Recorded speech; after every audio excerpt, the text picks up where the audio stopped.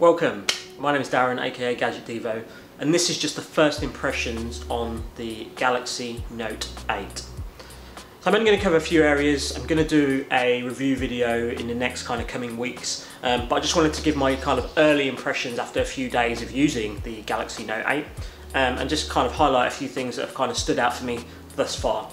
So I suppose the first thing is the design. Um, previously used the Galaxy S8, moved on to the S8 Plus. Um, so this shares very much the same kind of design language as both of those handsets.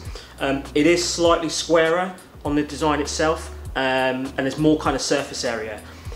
Logic tells me that's kind of been done because of the addition of the S Pen If you think about kind of writing surface and with the new aspect ratio on a lot of 2017 devices going a little bit more narrower in terms of that kind of 18 by 9 ratio, 2 to 1, um, making it a bit kind of wider and a bit more squarer kind of gives you a bit more kind of surface area to kind of write on. That's what my logic tells me, that's not an official answer, um, but I will find out and, and ready for the review. Um, so obviously the design, very, very similar. Um, at first glance, the kind of the, the major difference on the back of the device is you've now got the dual cameras. So I've taken some, some early images um, which work fantastic. Samsung's always had a really good reputation for, for image and optic quality. Um, it now has two 12 megapixel cameras on the back, both with uh, optical image stabilization, which is good for a couple of things. So one, when you're taking your images now, it actually takes two images with both of the cameras. Um, and also what that lets you do is it lets you kind of tweak the uh, bokeh effect kind of um, in terms of getting that blurred background. So that is now available in a feature called Live Focus and you can do that pre or post photo. So I've had some fun with that so far. Again, in the review I'll, I'll put some samples in so you can see that. Um, again, so really, really pleased with that thus far. Um, and again, the rest of the device looks very, very similar to the S range. Um, so other than that being a difference, the, the main kind of other differentiator is the S Pen itself. So you've still got a couple of features term, in terms of the screen write. So you can literally just pop the S Pen out, start scribbling away. Um, there's now um, an extended limit on the how many pages you could write. I can't remember how many it was before the Note 7, but you can write up to 100 pages now on this device. So that's really good. That's a, that's a, a kind of nice improvement. And then if we go into the phone itself, so can't see my password. Go into the phone itself and let's pop out the S Pen again.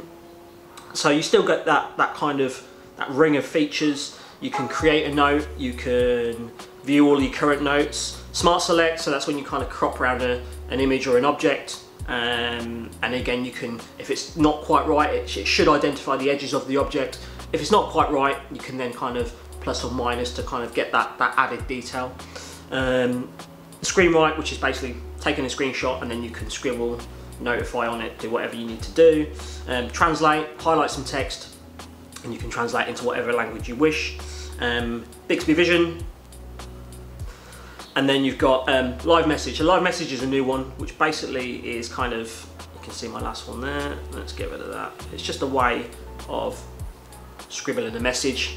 And if you send that via some kind of messenger service, WhatsApp, Facebook Messenger, um, they'll receive the message and it will kind of annotate exactly how you've scribed it. So um, that's another new feature they've added there as well. Get rid of that. Um, and then the other thing I wanted to mention um, briefly was just about the battery. So that was probably my only reservation when hearing about the Note 8 versus the, the S range, especially the S8 Plus. So the S8 Plus actually has a bigger battery than what's in here. I believe the S8 Plus off the top of my head is 3,500 milliamps and this is 3,300 milliamps. In the grand scheme of things, that's not a lot on paper, um, but when you're dealing with a slightly bigger screen, um, more power, added features, it was a little bit of a concern. It's still early days. Um, I've had no issues so far. It's getting me through the day comfortably. It's still still very, very early. But in the next couple of weeks when I do my review, I'll have a bit more of a bigger picture on terms of how that battery really holds up.